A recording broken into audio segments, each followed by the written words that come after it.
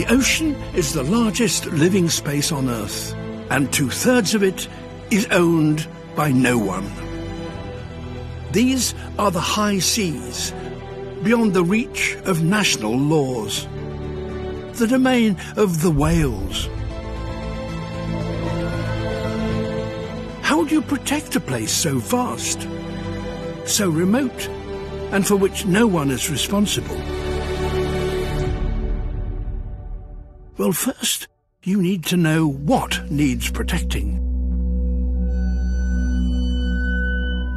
The high seas are vast, deep, and dark.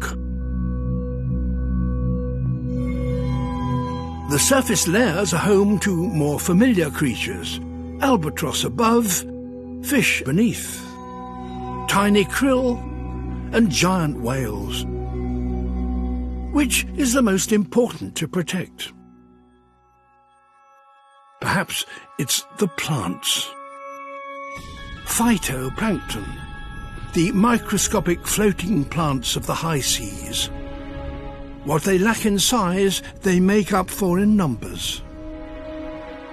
Plankton blooms can be so dense and vast, they can be seen from space.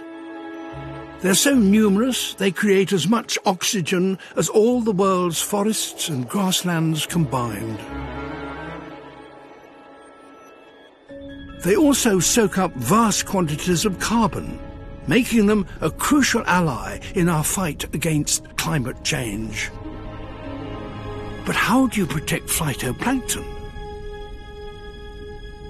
In the high seas, essential nutrients are scarce, and everything, plankton included, has a tendency to sink into the darkness below where no plant can grow.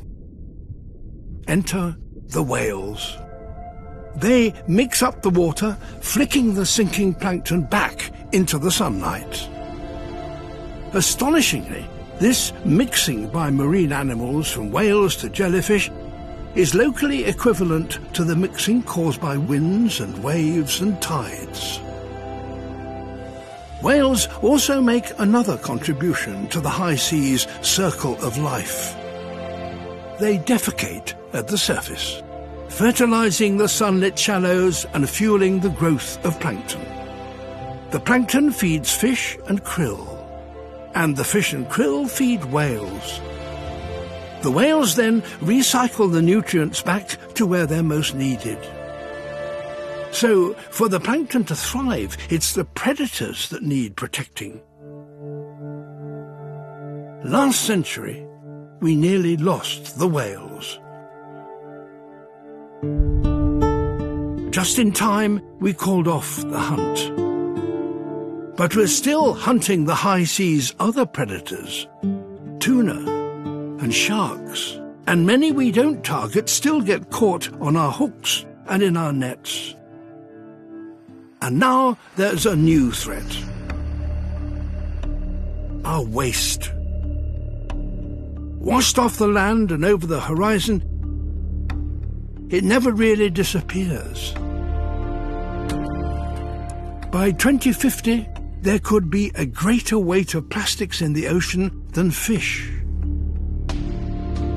As it fragments, it is ingested by plankton, works up the food chain, and then accumulates in the bodies of the top predators.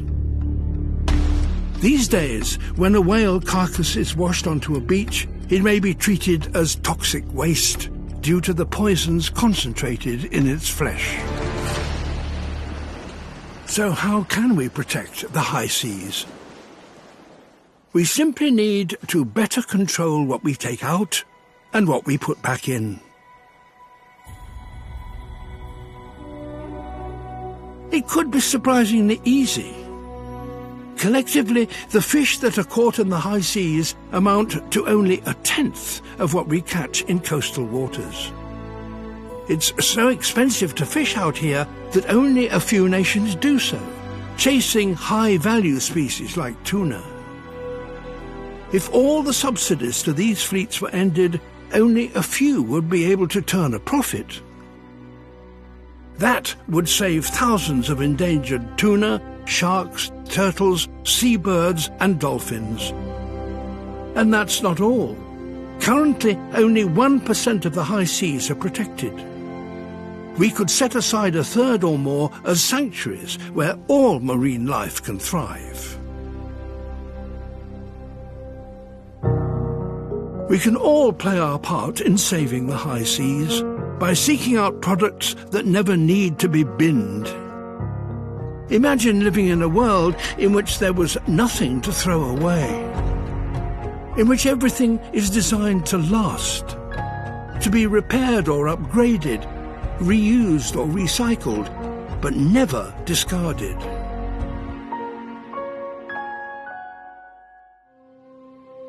For our high seas, there is hope. Right now, the United Nations are negotiating a brand new treaty to protect all life in the high seas. Such international agreements have worked before. Thirty years after the nations of the world called a halt to commercial whaling, humpback whales appeared off South Africa in numbers that hadn't been seen for over a century.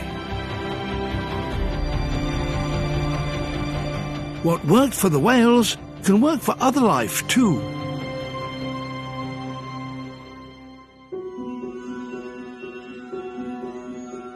We once thought the oceans were too vast to be polluted, too bountiful to be depleted. We still act as if the high seas belong to no one. It's time to embrace that they belong to us all. This is our opportunity to restore what we have lost, to protect all the wonders of the high seas, and to choose products fit for a finite planet, for our planet.